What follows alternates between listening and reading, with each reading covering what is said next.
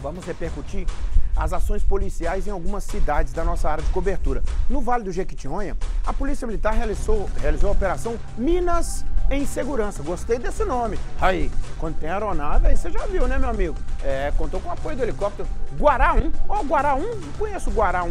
Guará 1 é de qual? É de qual? Ah, não, vamos saber aqui agora. Fantônio que vai falar isso pra mim. Fantônio Peço, Minas em Segurança. Uai, Fantônio, eu conheço o Carcará. Carcará? O nome do. Carcará? O Pegasus. Ih, esqueci o nome do outro, do bombeiro. É, Arcanjo. Oh.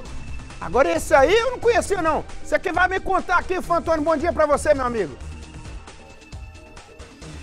Bom dia, Nicomedes. Bom dia a todos que nos acompanham pelo, pelo Balanço Geral. Sextou, Nicomedes. O Guará é justamente o helicóptero que a Polícia Militar utiliza para fazer aquelas ações de combate na área de meio ambiente, mas também na área de segurança pública. E ele tem essa pintura diferenciada, mas foi utilizado justamente para procurar uma pessoa que também é diferenciada.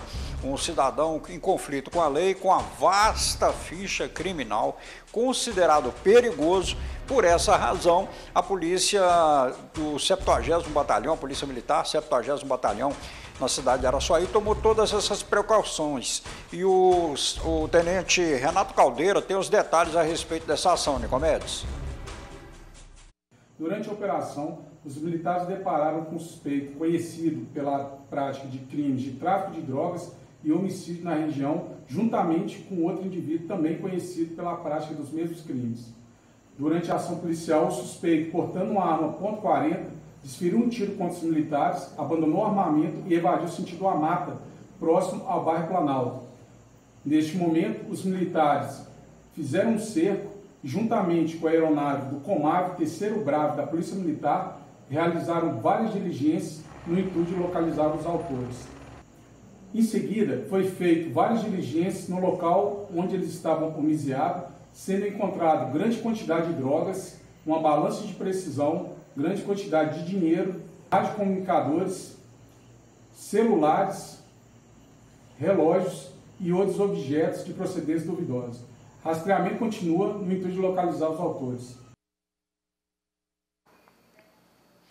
Bom, Nicomedes, vale ressaltar também que essas ações a partir de agora também são ações da Polícia Militar para já garantir a paz e a tranquilidade de quem vai passar a folia no Nordeste de Minas, principalmente o Vale do Jequitinhonha. Você vai observar, nós vamos falar nos próximos, nos próximos dias muito a respeito dessas ações de prevenção para dar paz e tranquilidade a quem vai passar a folia e aqui a gente antecipa, folia com garantia, com paz e tranquilidade mas com energia, Nicomedes. É, no carnaval, Fantoni, reina o silêncio, mas não reina... A inércia. Aí, ó. É... Você lembra, Fantoni, do Nanicão que a gente tinha aqui no, no Cidade Alerta? O Nanicão, o Pererê, lembra? Lembro. É, eu vou começar a usar uns vestidos daquele no carnaval aqui. Tamo junto, garoto. Fantoni Percy e Vitor Cui, a dupla dinâmica do Jequitinhonha e do Mucuri.